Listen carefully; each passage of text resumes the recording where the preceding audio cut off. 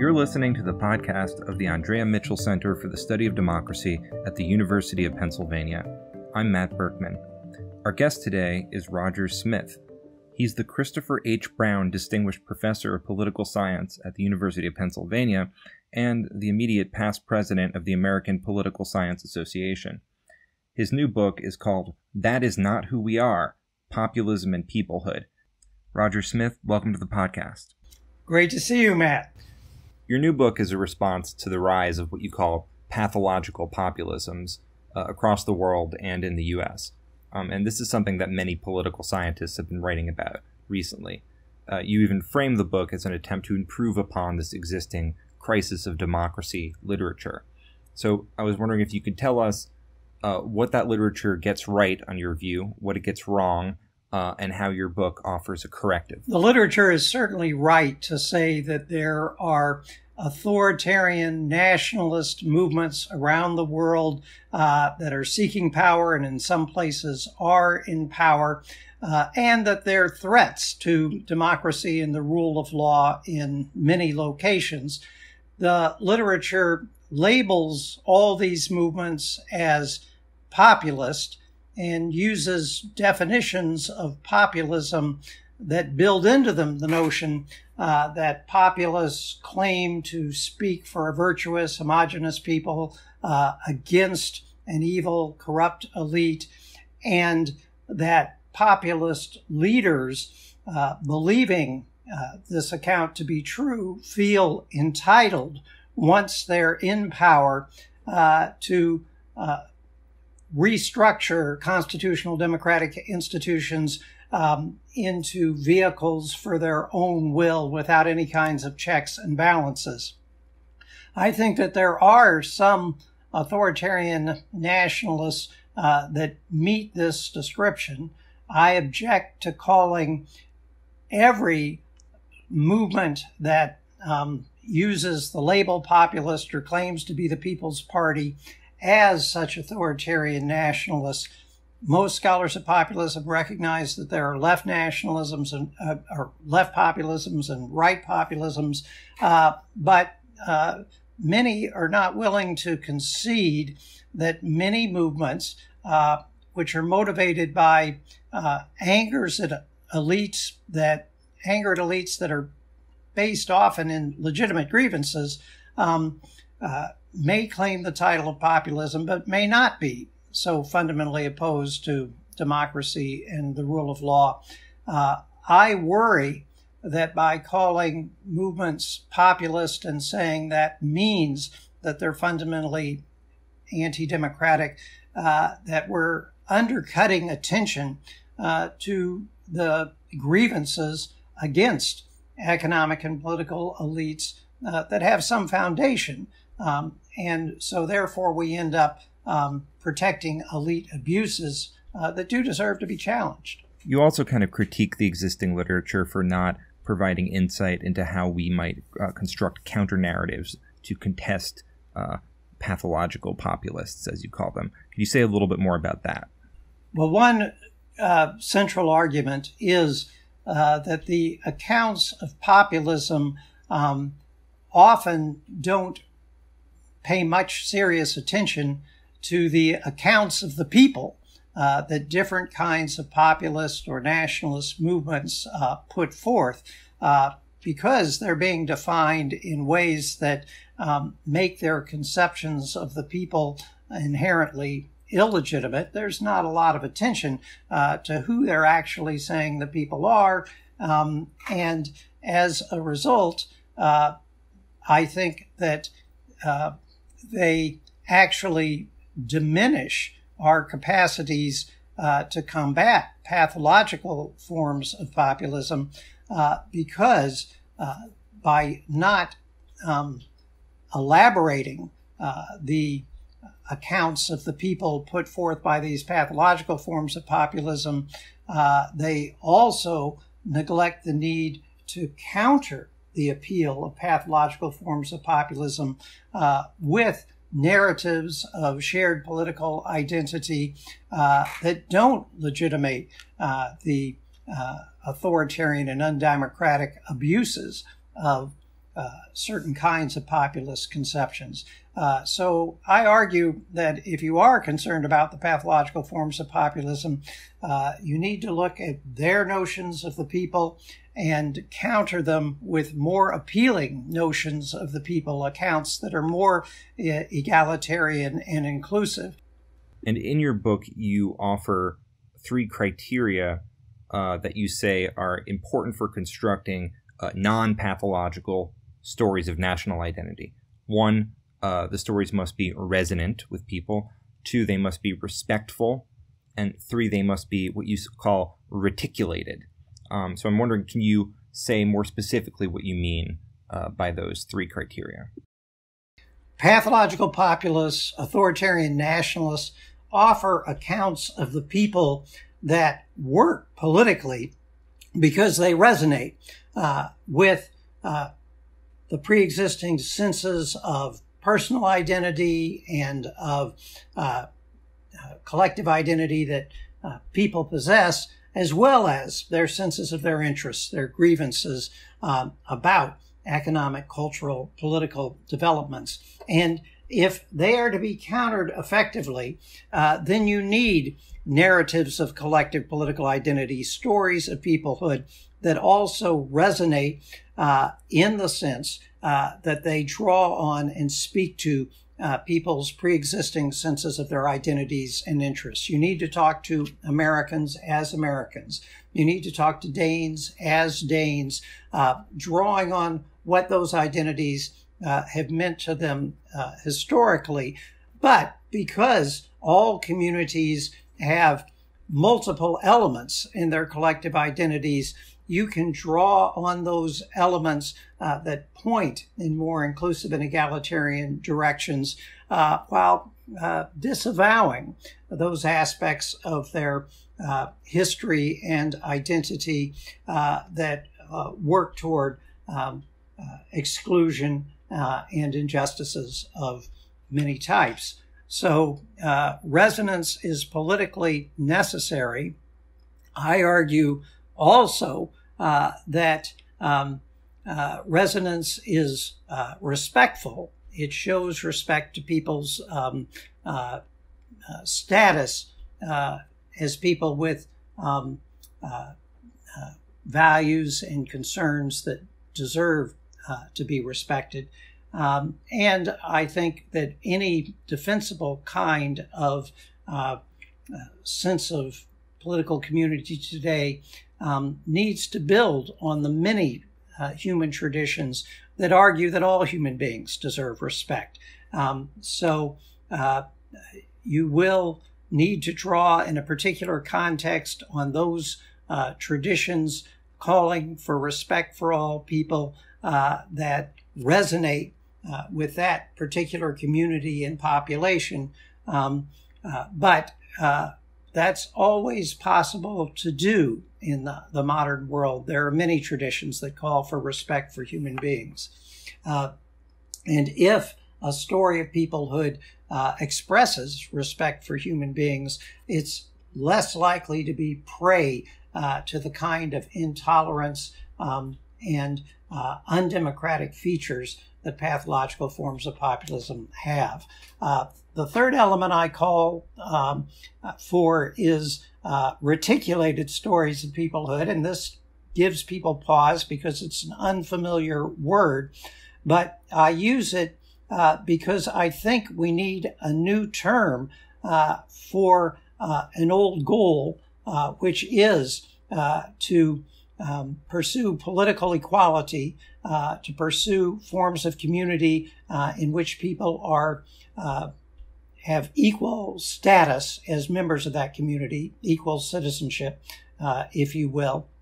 And uh, for a long time, we've equated equal citizenship with uniform citizenship, uh, with all persons having identical bundles of rights and duties. At least that's been the rhetorical uh, meaning of equal citizenship in practice, we've often recognized that uh, political status can't be meaningfully equal if we treat everybody identically, uh, because human beings aren't identical. uh, they have different circumstances, different needs, different aspirations. And uh, really, if you're pursuing equal citizenship, uh, you need to um, uh, provide policies and institutions uh, give people roughly equal opportunities to pursue their distinct aspirations and ways of life. and so we need a notion of um, uh, equal community membership uh, that flags not uniformity, uh, but appropriately, appropriately egalitarian forms of difference. Um, and I use reticulated for this um, uh, less familiar concept of equal uh, political membership, equal standing uh, in a political people. And that's what I say stories of peoplehood should strive for. Uh, they should resonate with people's senses of who they are, but they should express respect for all human beings. And that respect means that they should be um, reticulated, uh, giving members of the community um, uh, equal opportunities, uh, but that means uh, policies uh, that recognize and accommodate the differences in their needs and aspirations. So, your book offers a number of examples of non pathological stories of peoplehood from uh, different countries around the world. In the U.S. context, uh, you propose several themes that you say could serve as a basis for a, a more pluralistic national story. Um, and these themes include uh, one, the country's commitment to democracy in general. Uh, you also mentioned the theme of uh, e pluribus unum, unity out of diversity uh, which is a theme that you say former President Obama often built his rhetoric around. And finally, you talk about the theme of extending the rights enshrined in the Declaration of Independence, uh, which is the theme that you say you most prefer. So, from the perspective of your three criteria of good stories, could you tell us why you prefer uh, an, an, American national story rooted in the Declaration of Independence? Yes. Uh, Barack Obama, uh, throughout his career, built on uh, the uh, promise in the Constitution that we would seek to build a more perfect union, and he combined that uh, with the uh, motto on the seal of the United States, "E pluribus unum," out of many one, to argue that the um, American political project, the American constitutional project, is a quest to uh, try to build a more perfect union by um, uh, finding common ground without effacing our many forms of diversity.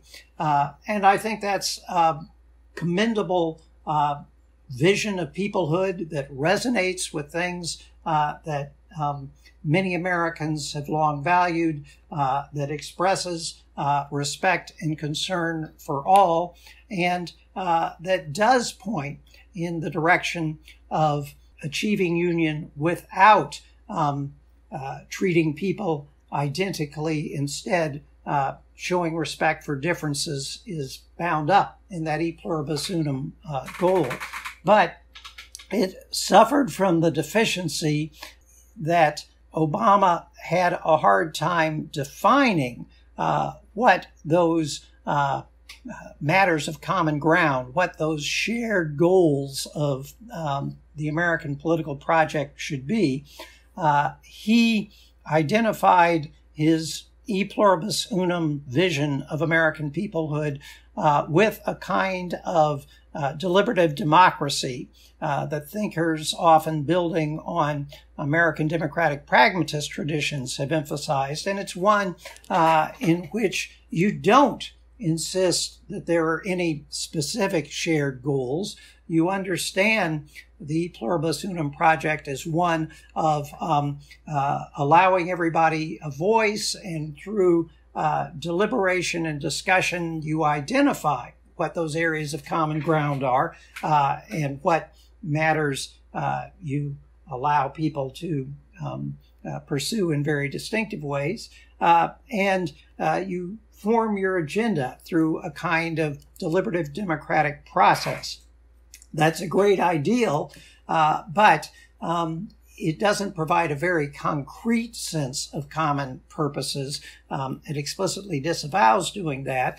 Uh, and in practice, uh, Obama encountered um, uh, obstinate opposition that was not willing to participate in good faith deliberation to find common ground. Um, Mitch McConnell said uh, when Obama was elected that his goal was to make him a one term president. He didn't succeed in doing that, but he did succeed in simply blocking um, most of the kinds of initiatives that Obama uh, supported um, after uh, the Democrats lost control of Congress in 2010. Um, and uh, just refused to engage in the kind of deliberative democratic process that was at the heart of the uh, Obama uh, vision of how you achieved e pluribus unum.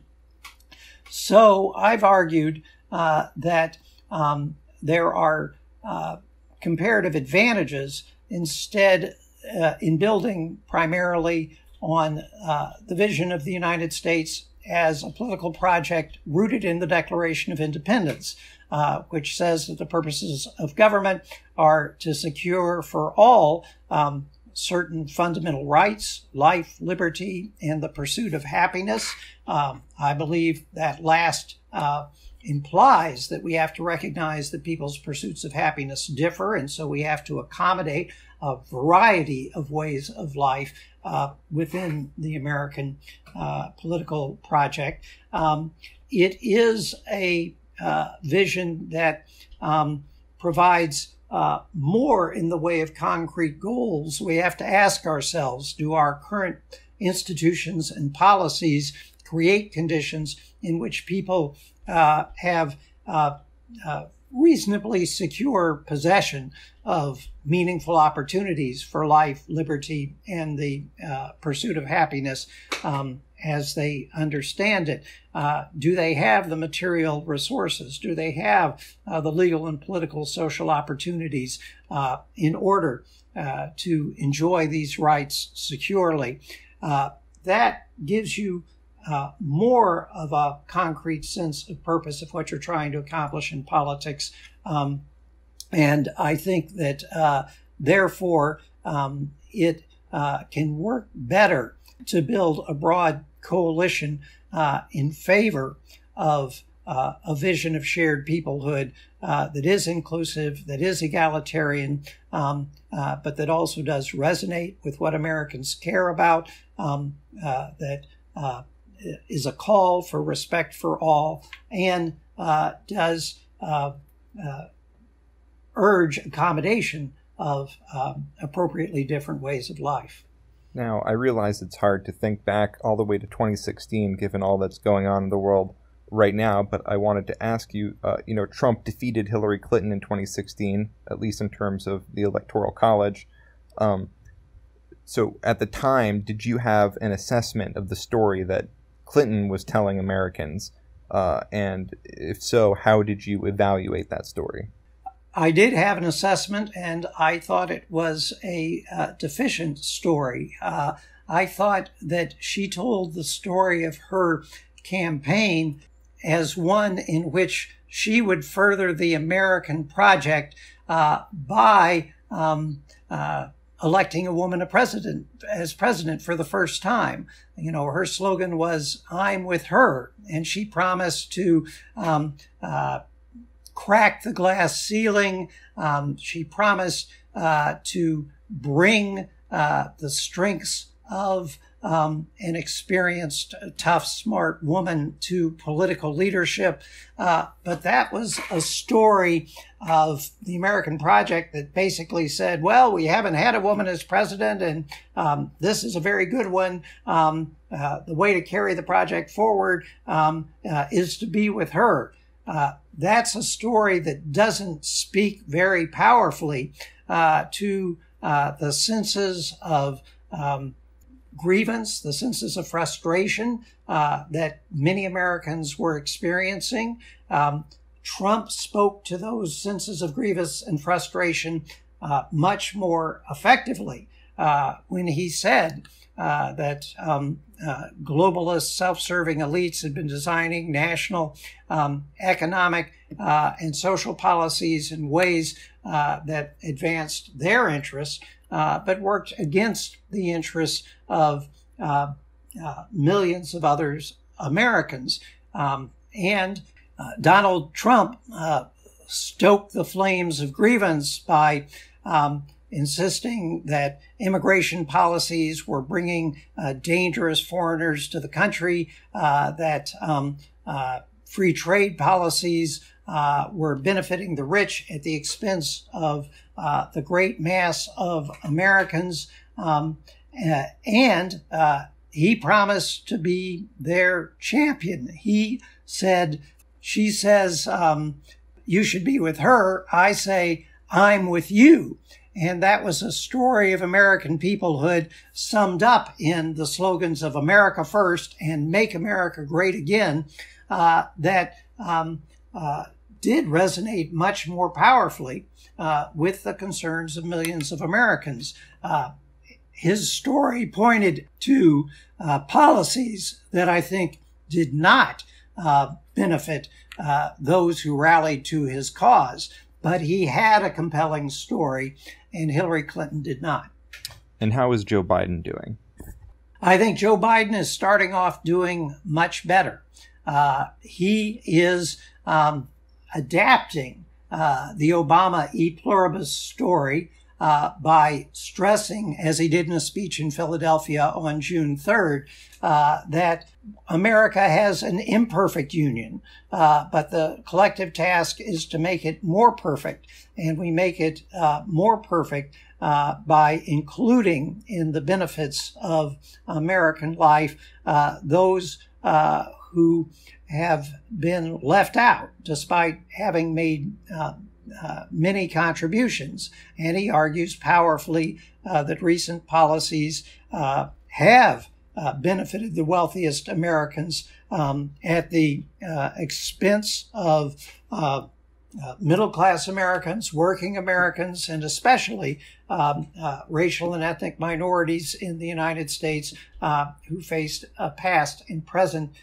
history of discrimination and disadvantage. So he says, um, it's always been a struggle uh, for the soul of America. Are we going to live up to our highest ideals? Are we uh, uh, instead uh, going uh, to give in to the demons of uh, racism and economic greed? And that is an account which both builds on the deeply resonant uh, view that we're a people seeking to create a more perfect union, uh, as Obama did. Um, uh, but uh, now he is um, articulating that vision um, in terms of uh, a policy agenda uh, aimed at the imperfections he identifies um, and trying to lay out how we can do better.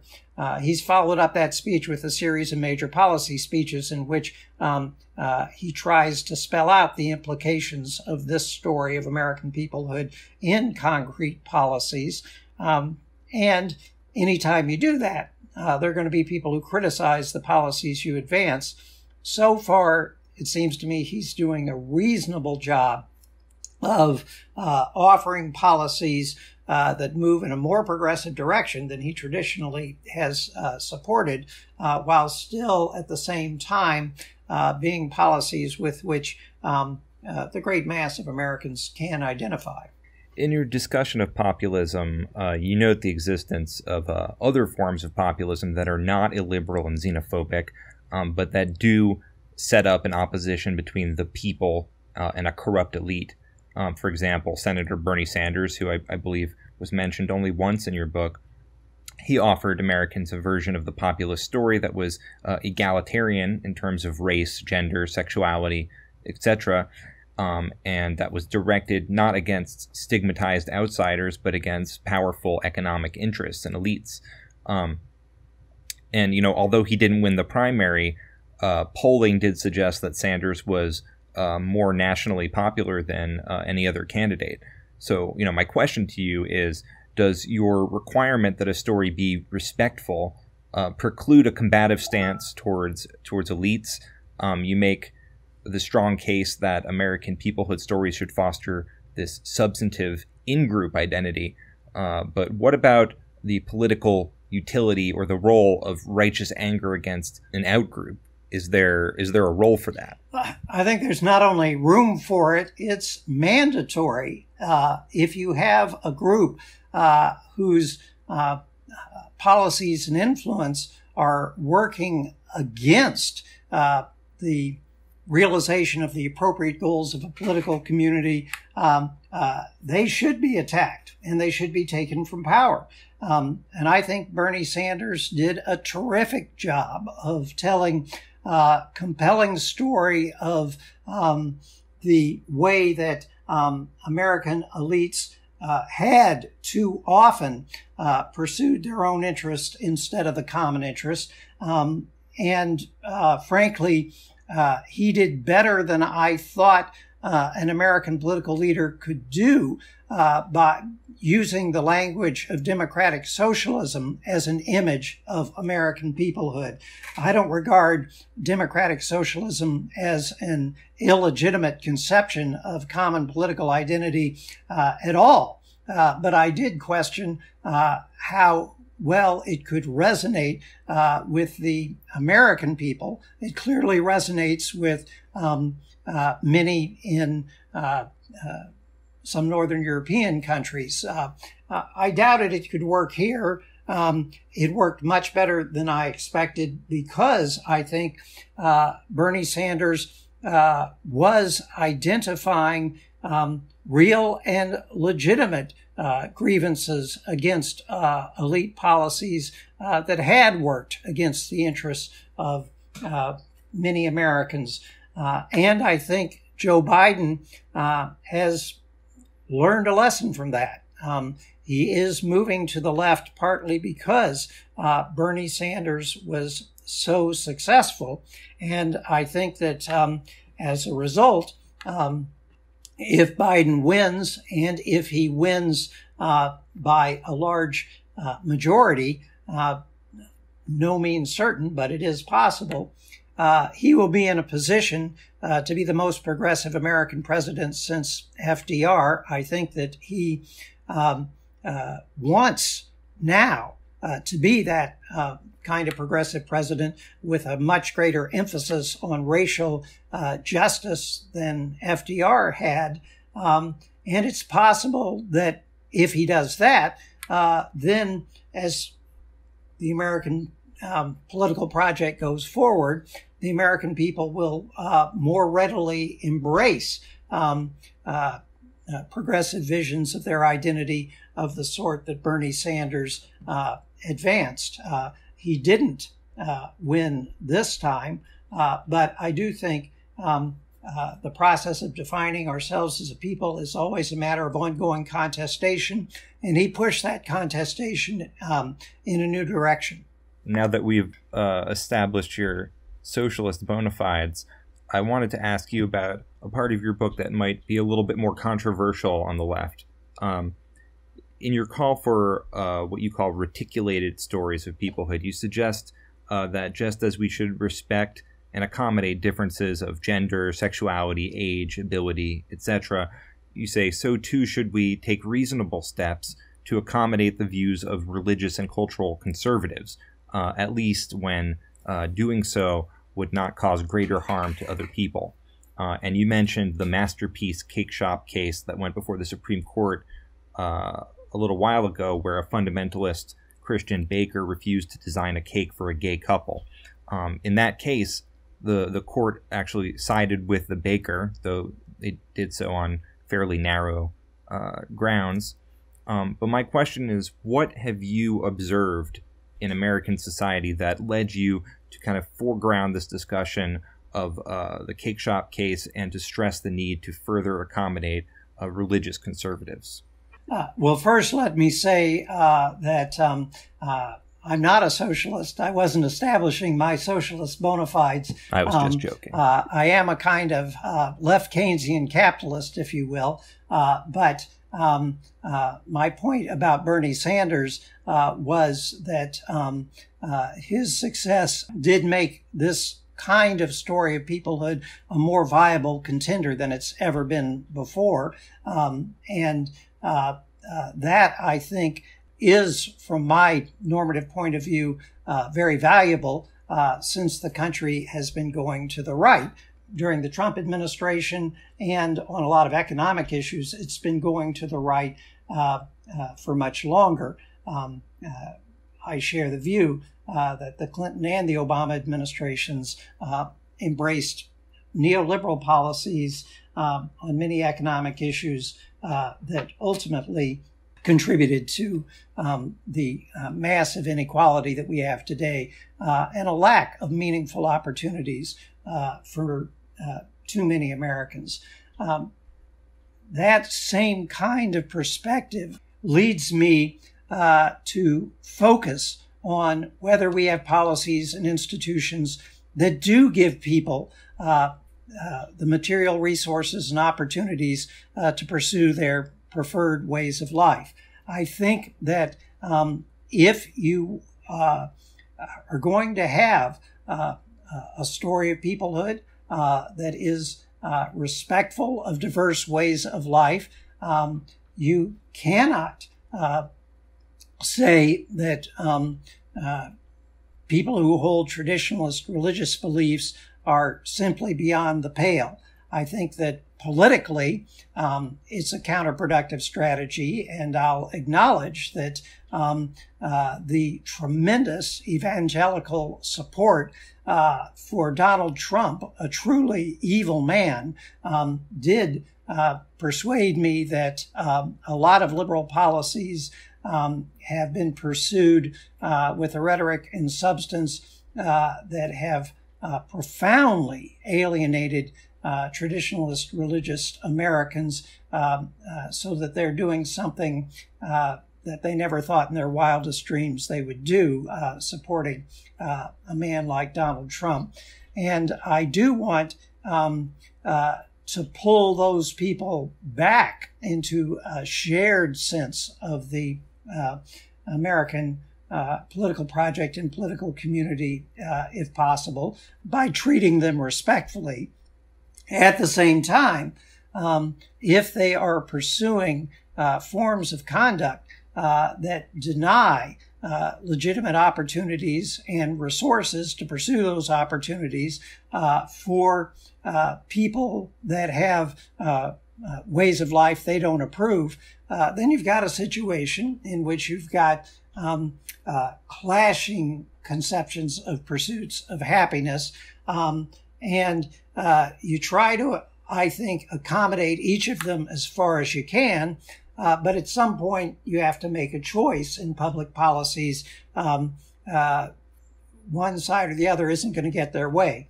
Uh, in regard to the masterpiece cake issue, um, uh, the view I've taken there is quite controversial uh, in uh, uh, with a lot of people uh, whose views I uh, greatly respect and value. Um, uh, my argument has been that if it is the case that um, denials of service to same-sex couples for things like a designer wedding cake are so limited that they have abundant material opportunities uh, and legal rights uh, to um, get married and have a great wedding cake. Um, if uh, the uh, accommodation uh, doesn't deny them material opportunities, and if the accommodation doesn't work as a precedent for other policies that would deny them material opportunities uh, to pursue their preferred way of life, uh, then maybe we can risk that accommodation. Uh, maybe it is a way of uh, allowing traditionalist religious believers uh, to feel uh, that they can pursue their preferred way of life um, while still participating in the uh, common economic institutions and civil institutions of our uh, society. Uh, but I think I've always been clear um, if uh, those traditionalist religious beliefs operate as they have so often in the past uh, to provide real denials of material opportunities um, to get married, to see a loved one who's sick in a hospital, to get a job, then those kinds of religious accommodations go too far. Uh, but I do think that uh, a spirit of trying to have egalitarian, inclusive forms of peoplehood means that you have to give consideration about um, uh, whether you can provide uh, some accommodations to traditional religious believers instead of um, trying to uh, expel them, uh, in effect, from the civic community. Uh, that means that uh, they're going to seize on any champion they can uh, to try to defeat you. Um, and I'm afraid that's what's happened. Rogers Smith, thank you so much for being on the podcast. Uh, well, thank you so much, Matt. It's been a great pleasure speaking with you.